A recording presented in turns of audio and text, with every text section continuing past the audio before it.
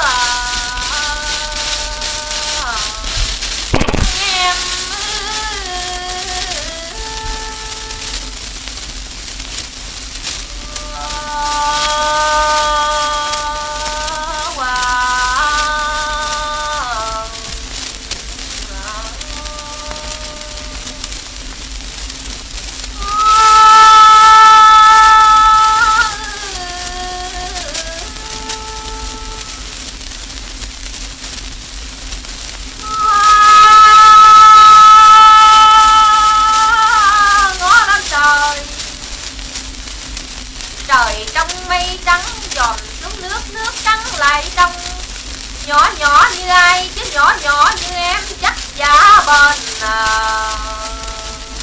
à, lòng à. lỡ duyên thời em chịu lỡ